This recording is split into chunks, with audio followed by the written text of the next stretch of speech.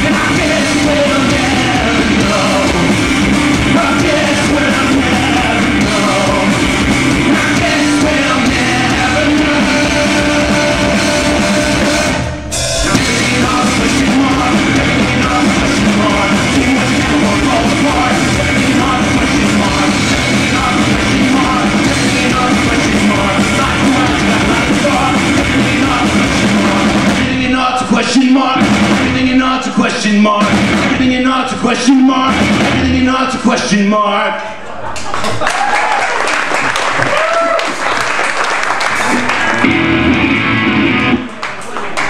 Any fans of any 80s music here? Nah. This is a song from one of our favorite bands of the 80s. The Smithereens.